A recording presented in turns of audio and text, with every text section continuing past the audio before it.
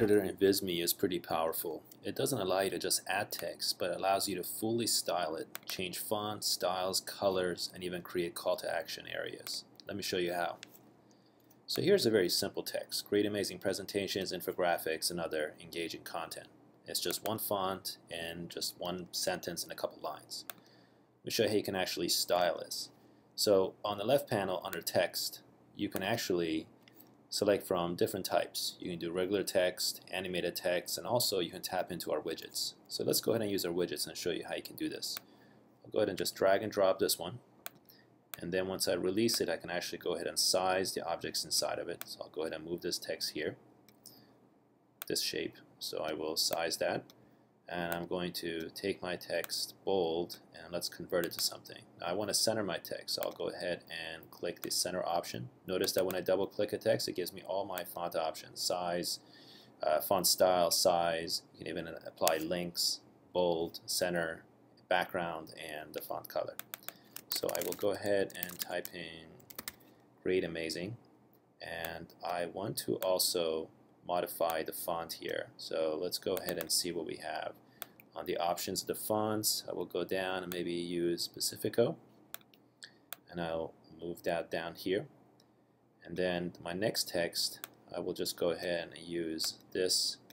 And I can duplicate that. So let's go ahead and also type in presentations I'll go ahead and size this text here and also center that. And I can go and do the same thing with the next text and in this case I can type in infographics but why don't I just style this one and say click enter and type in infographics because what I can do in Visme is have control over uh, spacing so I can actually modify the line height if I want to. And there's my text here and in this case I can go ahead and change the font to something else but I'll probably stick with the um, the impact font but I do want to change the color. So I'll select the presentation text. I'll go to my color scheme here and apply on this. And the infographics I'll go ahead and select something else such as this one. And now what I will do is go down and do something with my and text. So what I'll do is in this one stretch the text out maybe change the font size a little bit and I will go ahead and type in other engaging content. I can go ahead and change this font. Notice I can actually keep this a certain font and I can take this one and stylize it to something else.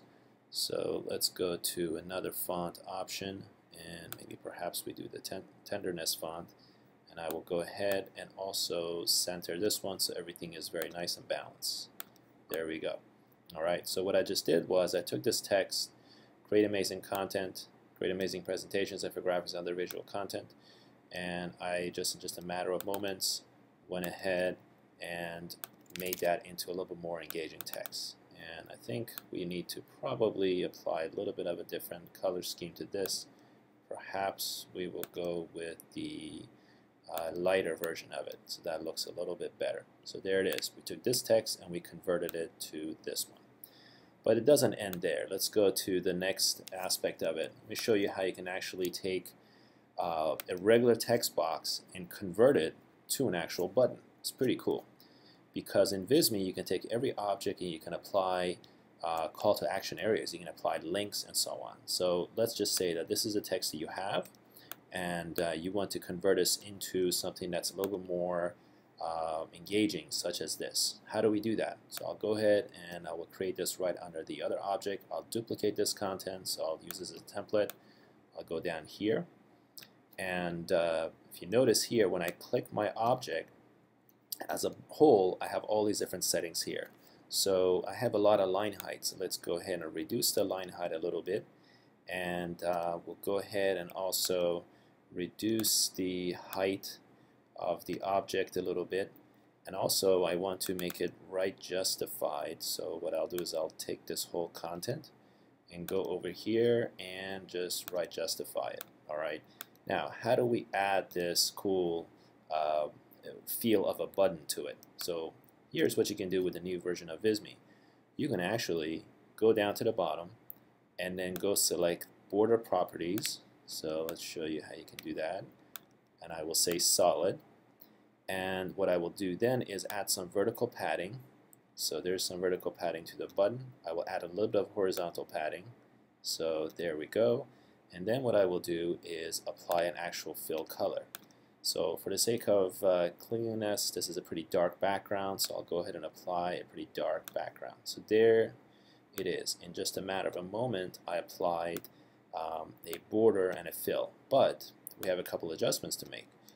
On the uh, color for the border, it's also very dark. So I want to make that into a lighter color. So there you go, you notice. And also, why don't we give it a little bit of a curve? So the way I can do that, I can either apply thickness to a button, but I think it would be nice if we keep it clean and simple. So let's just keep the thickness as one pixel. And the roundness, we give it just a little bit of a roundness. So there we go. All right. Now, in order to achieve this design very similar to what we have, you see I can actually size up or down, so I can do that. And I can also control the horizontal padding just a little bit more. And now also we want to go ahead and add a shape. Well, we have a really cool shape library, so I'll go ahead and just search for a cart. And there's all the different options I have. Let's go ahead with this one. And so there you go. I can put this here, and if I want to be consistent with the color of the text, I can go ahead and actually match to the color. So what I just did was in just a matter of about a minute, I created a button, but the button doesn't have an action. So if I actually go to preview it right now, you'll notice that if I roll over, it doesn't do anything. So how do we make it an engaging type of button? Here's how you do that. You click on your text box, and then you come down on the corner here where there is something called link. If you click link, here's I can where I can add a uh, link. So let's go ahead. I want to take people to I don't know Amazon.com, and I can tell it to open in a new window. And by the way, you can also do different things, such as if it's a presentation, take them to another slide. But for the sake of uh, simplicity, here as an example, we're going to link, and then I will say apply link.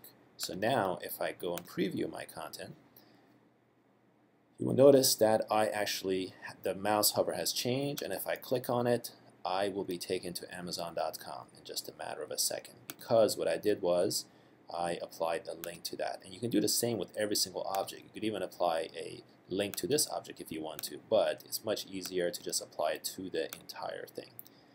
This is very helpful for conversions. Now, next thing, let's go ahead and also show you one more uh, item that you can do. So you have text, but the beauty of the Visme is that you can combine virtually anything. Um, so you can combine, for example, graphs, uh, charts, and widgets. In this case, it's a little widget that's been created here. Uh, we have a big shape library and icons. So let's go ahead and create this into, let's say, more of a banner format. And what I can do is just move this shape here. And by the way, if this was sitting over my object, say like such as this, I can always go in to the layers and just move it towards the bottom. Okay. So I'll move this here. It's a little bit small, this banner, so I'll click on it and stretch it a little bit.